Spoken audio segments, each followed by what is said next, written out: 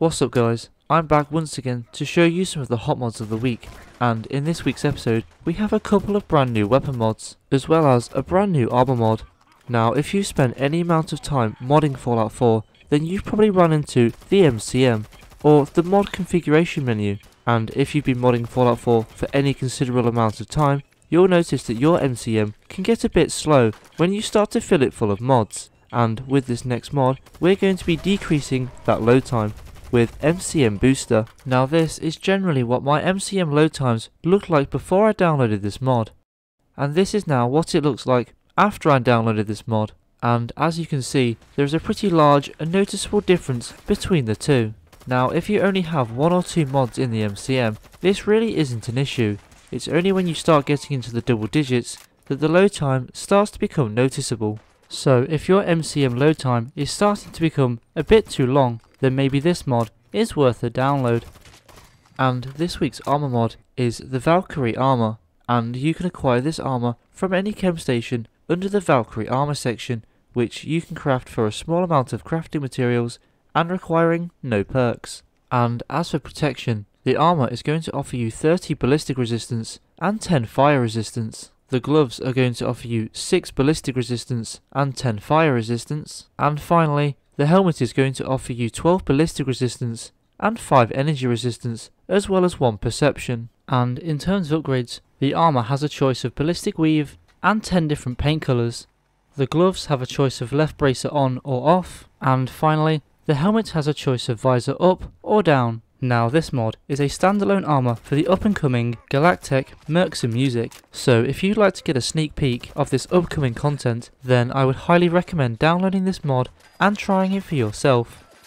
And of course, this week's weapon mod is the Borchardt C93, and you can acquire this weapon from weapon vendors, Minutemen and Gunners, or you can do what I did and open up the console and type in help C93 for WEAP here you'll find the weapon's ID code, and by typing player.additem and the ID code, you'll get your hands on the weapon. And in terms of upgrades, you have the choice of 14 receivers, 4 barrels, 3 grips, 3 magazines, 3 sights, 10 muzzles, 6 damage options to balance the weapon, and finally, 2 melee attachments. Now not only does this weapon have a considerable amount of upgrades, but it's also an ESL flagged ESP, so it's not going to take up a slot in your mod limit. Also, this mod is going to come in one of two files, a main file and a secondary main file that's going to limit the weapon to vendors and boss loot only.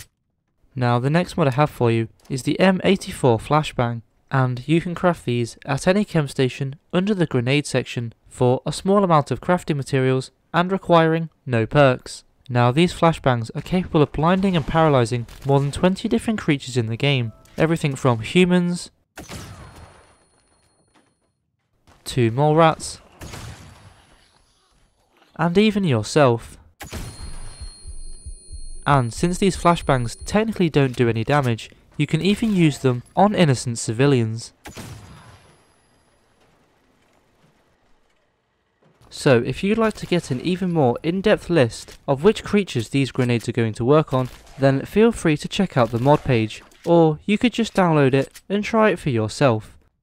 Now all the way back in episode 56, we took a look at the Glock 19X pistol, and now we have an add-on mod for said weapon mod, and of course I'm talking about Glock 19X tweaks and fixes, and what this mod is going to do is tweak the Glock 19X with manual level list injection instead of the manual level list injection, sort out some of the quality of life, and fix a couple of bugs. Now to be more specific as to what this mod does, it's going to disable scripted level list injection and all other startup scripts, remove all lower rail attachments, agency receivers, and the cheat damage modifier, provide manual level list edits and custom weapon templates, adjust names of weapon attachments, and lastly is going to adjust perk requirements for the attachment crafting recipes and that is just all of the big stuff. If you would like to read even more detail then I highly recommend that you check out this mod. And of course the final weapon mod for this week's episode is the Modern Warfare AUG and you can acquire this weapon from weapon vendors, gunners and railroad agents after level 28 and legendaries will start spawning after level 30 or you can do what I did and open up the console and type in help AUG 4 WEAP. Here you'll find the weapon's ID code and by typing player.additem and the ID code you'll get your hands on the weapon.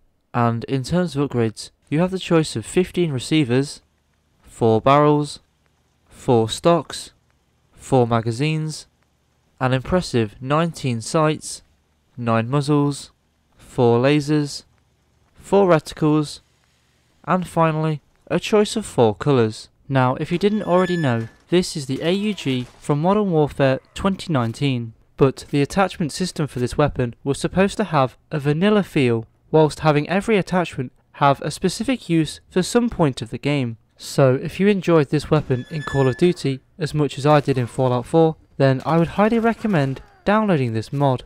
And with that, that's going to wrap things up for this mod, and the video for that matter. I hope you all enjoyed the mods here today, and if you did, don't forget to hit that subscribe button, and I hope to see you all in the next video.